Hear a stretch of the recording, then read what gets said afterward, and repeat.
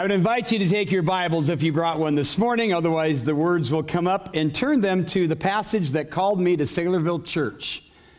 Acts chapter 16. Acts chapter 16, as we continue in our introduction to the book of Philippians, the joyful life. It's true, it was in 1998 that I was in a place where I just knew that God uh, was moving me away from the church I'd pastored for 12 years, having lost my first wife, having been remarried, having the sense that we needed to be together somewhere as a family, as a unit and uh, but just didn't know I, I, just knew i needed to resign the church. I sensed that at least. I just wanted that confirmation from god and virtually begged him that morning in my devotion times to show me what his will was. I was in acts 16 i can literally remember saying god i know this story. I know the story of the philippian jailer. I know what happens here. There's nothing here that's really resonated with me. And i read through the story and i finally came to the very end after the jailer was saved after he was baptized after his house was rejoicing, the magistrates of the city show up, and it tells us in uh, verse 36 the magistrates have sent to let you go. Therefore, come out now and go in peace. And right in that moment, I sensed that God was my magistrate, and He was giving me my walking papers to leave. I walked upstairs and I said, Honey, I said, I really believe God just told us it's time for us to leave. And she looked at me and she said, Well, he didn't tell me. So that's, that was a bit of a conflict there for a while. We got through that. And two days later, I got a phone call from Saylorville Church, and here I am 20 years later. Now, whether or not you're familiar with the drama of Acts chapter 16, there's a lot here for us to see and be challenged by. The context is church planting. And our four church planters in the Engaged Network would tell you there's no shortage of drama when you're breaking new ground and resistance and all that goes along with it because church planting is not for the faint of heart. It's not for those who just romanticize the whole thing and see it as sort of an adventure. On the other hand, since we're about ready to start another one, you're going to hear a lot of it in the next couple of months. The historical introduction of the book of Philippians could have, watch this, life changing implications for some of you, maybe many. So if that doesn't perk up your ears, let it. Let's look at the drama where we left off last week after the salvation of Lydia, and now verse 16. As we were going to the place of prayer, there met us a slave girl who had a spirit of divination, literally a python spirit, a snake god from Greek mythology. And she was effective. It brought her owners gain by fortune telling. That's the only time this word is ever used. It basically carries the idea of false prophesying, but apparently it was working. She followed Paul and cried, uh, uh, crying out, These men are servants of the Most High God who proclaim to you the way of salvation, which is what? That's a true statement. And this she kept doing for many days. Paul, having become greatly annoyed because there's only so much of that you can take, turned and said to the Spirit, I command you in the name of the Lord Jesus to come out of her. And it came out that very hour. But when her owners saw that their hope of gain was gone, they seized Paul and Silas, dragged them into the marketplace before the rulers, and when they had brought them to the magistrates, they said, These men are Jews. They are disturbing our city. They advocate customs that are not lawful to us as Romans to accept our practice. The crowd joined in attacking them, and the magistrates tore the garments off of them, gave orders to beat them with rods. And when they had inflicted many blows upon them, they threw them into the prison, ordering the jailer to keep them safely. And so, being a faithful jailer, he received the order, put them into the inner prison, fastened their feet in the stocks. About midnight, Paul and Silas were praying and singing hymns to God. And the prisoners were listening to them. And suddenly there was a great earthquake. So the foundations of the prison were shaken, and immediately all the doors were open, and everyone's bonds were unfastened. When the jailer awoke and saw that the prison doors were open, he drew his sword. He was about to kill himself, supposing the prisoners had escaped, which was what you would be doing if you were a jailer, because it was your responsibility to keep the prisoners. And you might as well off yourself before somebody offs your head. But Paul cried out with a mega, that's the Greek word, a loud voice Don't harm yourself, we're all here. And the jailer called for lights, rushed in. Trembling with fear, he fell down before Paul and Silas. Then he brought them out and said, Sirs, what must I do to be saved? And they said, Believe in the Lord Jesus, and you'll be saved, you and your household. And they spoke the word of the Lord to him and to all who were in his house. And he took them the same hour of the night, washed their wounds, baptized. He, he was baptized at once. He and his fam, all his family. He brought them up into the house, set food before them, and he rejoiced along with his entire household that he had believed in God.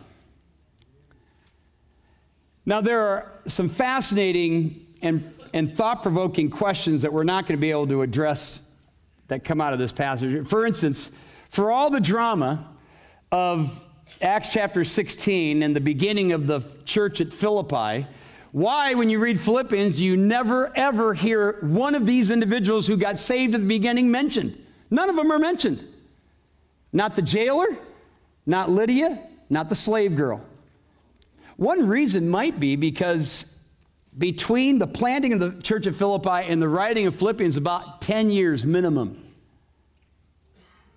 Last week, uh, after church here on Sunday, I got a text from our very own Tyler Betts, who's been on staff here for a number of years. He's now a missionary appointee. He sent me this picture. This is a picture of Tyler with, uh, with this man's name is Don Ford. And Don wanted this picture sent to me because 27 years ago, last Sunday, I led Don Ford to Christ. He's still going forward, living for Jesus.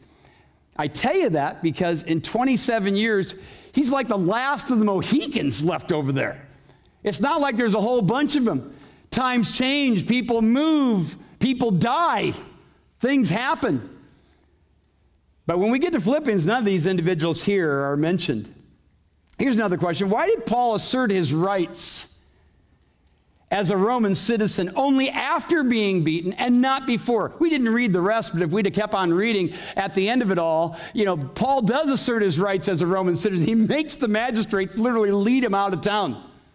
But he doesn't do that beforehand. Why does he not assert his rights as a citizen? The answer to that question has evangelistic implications, so think about that. And by the way, where's Luke and Timothy? I mean, this is the second missionary journey. It's Paul and Silas. There's no mention of Luke and Timothy. Are they out to Starbucks? I mean, they're not there. It's strange. I don't, I don't have the answer to it. They're not there. And what about those household baptisms? Isn't this the final proof to all of our friends out there who baptize babies? This is the, I mean, house, I mean, there must have been a baby in that house. Not so fast, you pedo baptism friends of ours.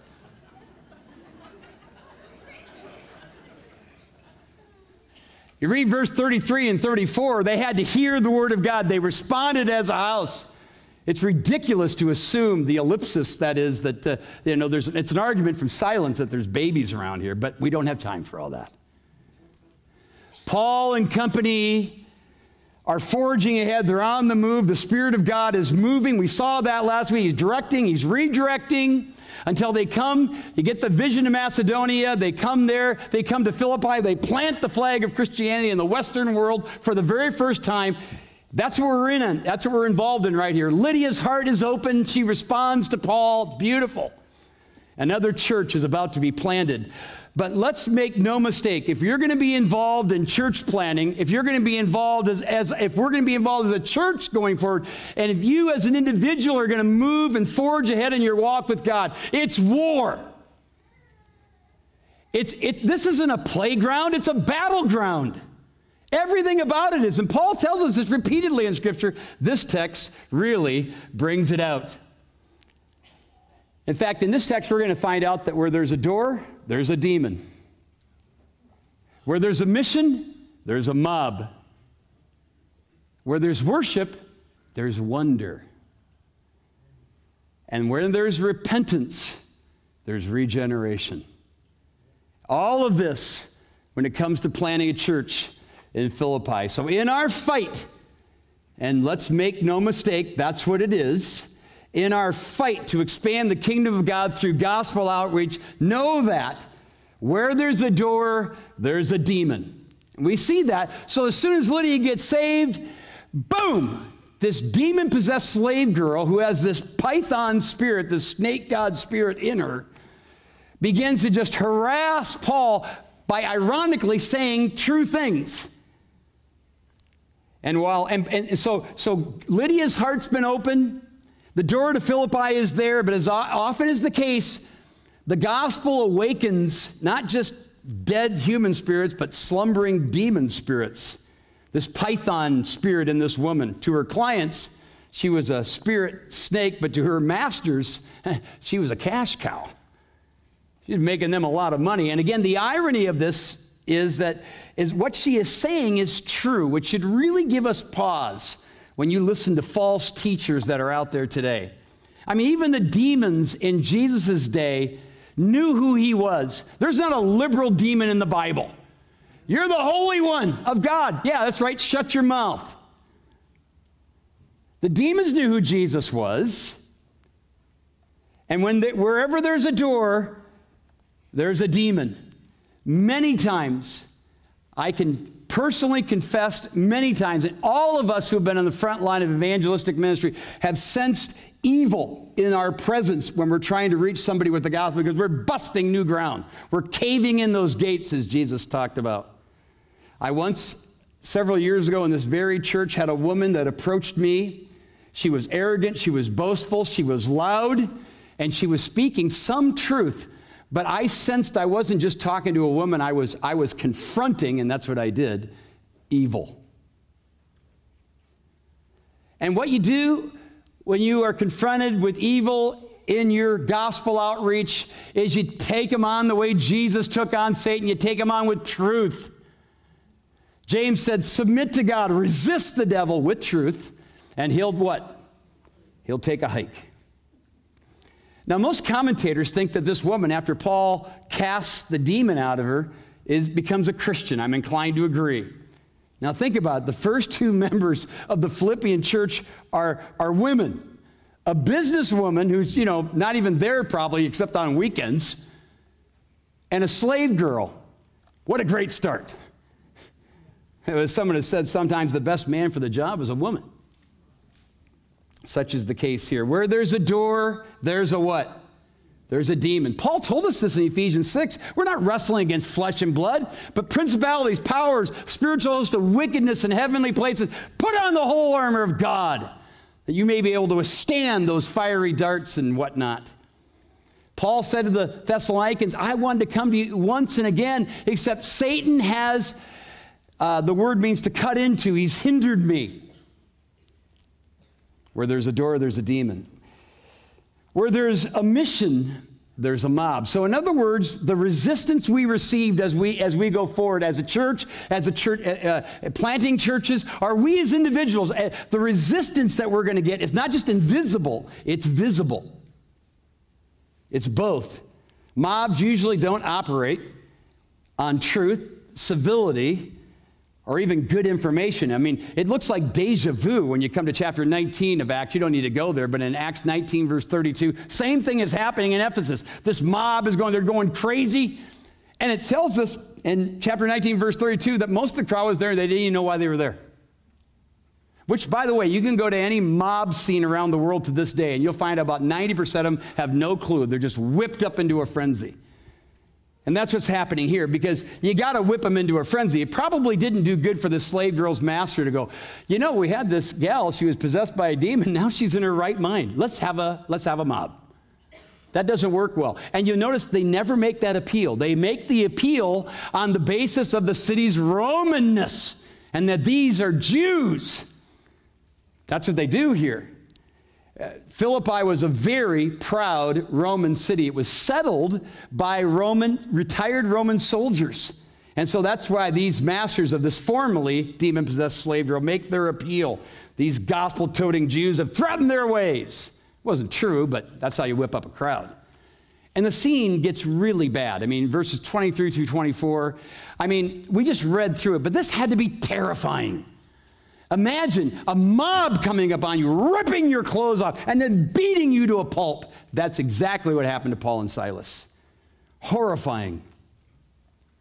And all around our world today, especially in that 1040 window, the mission of the gospel continues to whip up satanic opposition and mobs, preaching lies, bombing churches, imprisoning and murdering pastors, and intimidating Christ followers. And I know it's not, that's not very practical in our peace breathing culture that's caught up in everything else but Jesus, but churchy. And while Christianity has been marginalized by the media and politicians and every God hater that's out there, the fact that our freedom that we have does not whip up opposition might be more telling evidence than anything about our lack of fervency. And whether it's a mob or family or a group of friends, if you forge ahead, you will feel the resistance. Paul said, Everyone who lives godly in Christ Jesus shall what? Suffer persecution. And here's the Apostle Paul. He was writing to the Corinthians from Ephesus. He said, I'm going to stick around here because I'm telling you what, a wide open door has been presented to me, and there are many adversaries. You see that? Where there's a door, there's a demon. Where there's opportunity, there's opposition. Every time when it's real and not contrived. So here's this situation, count on it, where there's a mission, there's a mob. And the mob, again, we just don't relate to that in our culture. But the, there will be external resistance as well as internal, visible as well as invisible. Here's the third thing I want you to note where there's worship, there's wonder. Now, th- we got a zealous jailer here probably involved in the whole thing. Philippi wasn't that big of a town. He probably is involved with the whole thing. He's, I mean, he's, he's been involved. He's a, he's a faithful, he's probably a former soldier, which is what jailers often were. He's taken these guys, probably a part of the beating, he's stuck them into the recesses of the prison. And there they are, beaten, bloodied, in stocks, unbelievably awkward, darkness, dampness, and what are they doing? Are they planning their escape? Are they debating some legal appeal? No, they're worshiping. Look at that. Praying and singing hymnos to God, hymns, praises to God. Worshiping.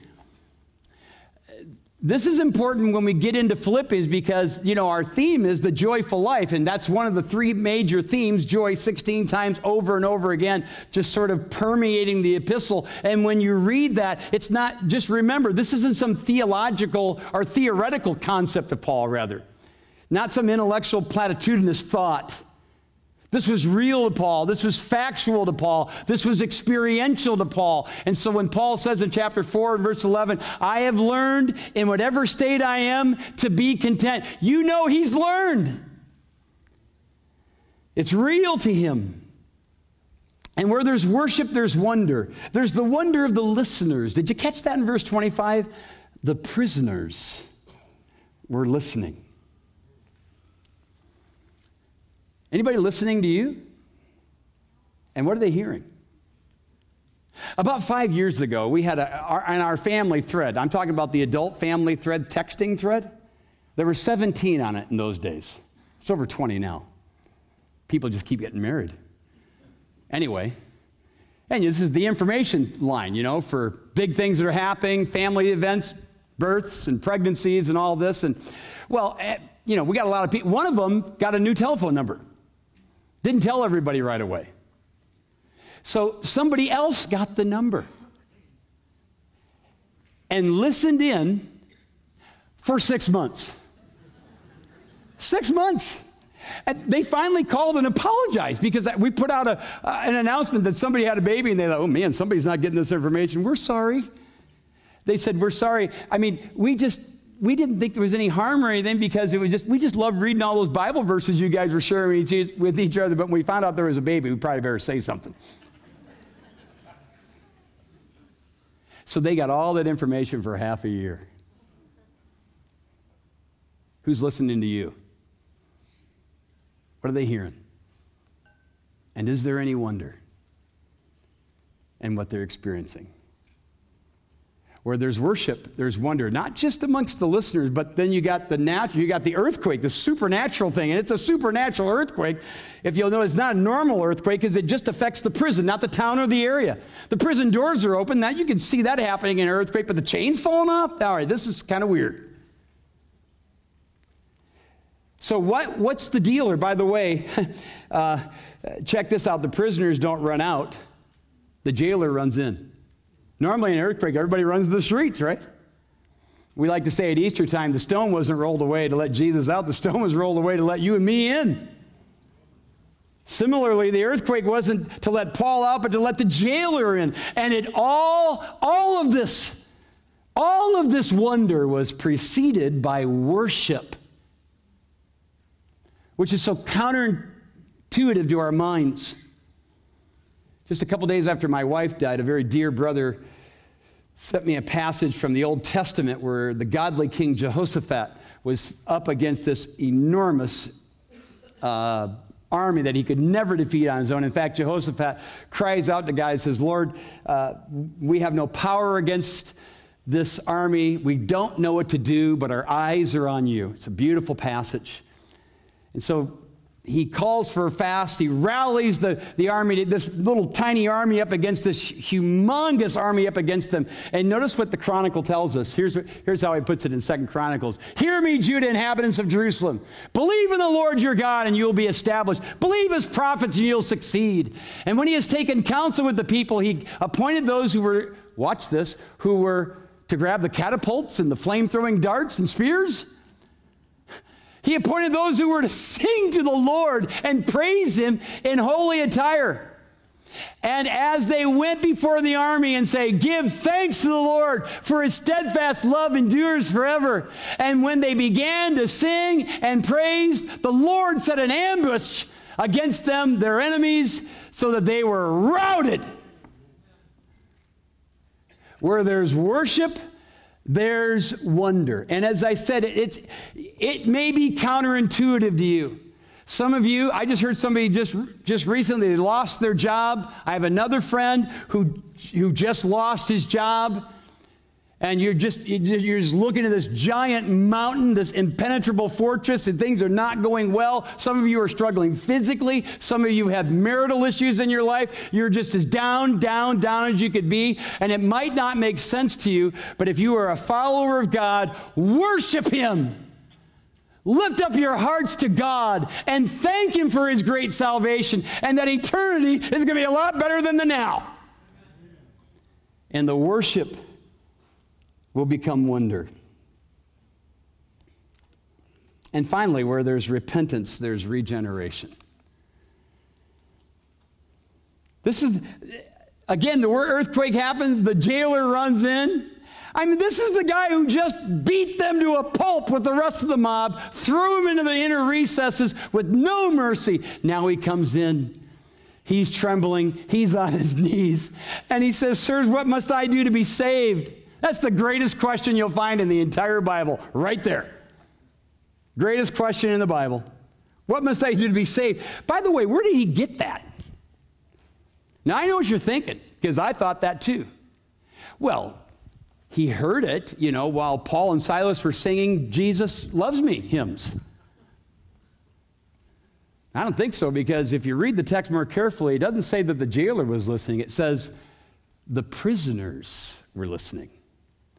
The jailer would have been closely connected, the house probably to the prison, but I don't think he heard what they were singing. You want to know where I thought he got it? Where I think he got it? I think he got it from that demon possessed woman. Do you remember what she was saying in verse 17? These are the servants of the Most High God who, who are telling you the way of salvation. True or false? True statement. Now, of course, the demon and the woman eh, was intending to mock the gospel, annoying the, the evangelistic party. But I think what Satan intended for evil, God meant for good and turned the whole thing around. When he said, What must I do to be saved? He uses a root of the same word that the demon woman used. And that's just the way God works. How cool is that? And so when he comes, he says, Sirs, what must I do to be saved. And from the greatest question comes the greatest answer. Believe on the Lord Jesus Christ, which is what some of you need to do right now. Repent and believe on the Lord Jesus Christ. Well, I didn't hear, see, I didn't read the word repent. Are you kidding me? This is a jailer that was persecuting Paul. Now he's praising Jesus. He gets baptized. He has a meal for them. Are you kidding? This is a changed life. A totally changed life. And when he asked Paul, What must I do to be saved? What does Paul say? Well, you need to become a better husband, for, for one. And while you're at a better jail, this, isn't, this has not been good accommodations back here in the inner part. He told him what he needed to, needed to hear. Our, our, our high schoolers uh, attempted this last week to reenact something that took place like 30 some years ago when I was a student in Bible college with Dave Leonard. That's our pastor, Jared Leonard's great grandfather, sat right there in a pew. And they tried to reenact something that took place. It was an amazing statement, or an amazing thing that happened. Uh, my understanding is it didn't go so well. It wasn't a very good reenactment. And I'll come back to that one another time. But uh, I had another experience with Dave Leonard, and it was outside of a grocery store. Now, Dave Leonard was a tall guy, like Leonards are, and he was like 120 then. I mean, he's really old. And uh, when he would talk to you, he never looked at you until he had to. But you're supposed to look at him, though. So I'm meeting, he, he says, Nevers, I want to talk to you. I said, okay. And so he starts talking. I'm here, he's looking this way. I'll tell you what, Nemers. I was in a mission one day, preaching the gospel. You don't dare preach anything else in a mission. And they went on with this story. I can't remember what the story was, but I'll never forget that parenthetical line. You don't dare preach anything else. You don't tell people in a mission you need to be a better husband. You need to be a better father. You need to get your finances in order. You know, you tell them in a mission, believe on the Lord Jesus Christ and you'll be saved. Amen? Because where there's repentance, there is regeneration. This man is completely changed. And Paul has completed his evangelistic trifecta in, uh, in Philippi, and this becomes the core group of the church plant. A Jewish businesswoman, a slave, and a Gentile jailer. Did you catch that? A Jewish woman, a slave, and a Gentile jailer. The Apostle Paul was a Pharisee for many years. And every single day, he prayed this prayer God, I thank you that I'm not a Gentile, slave, or woman. The very core that made up the church at Philippi. Behold, the church at Philippi. Where there's a door, there's a demon. Don't romanticize gospel outreach.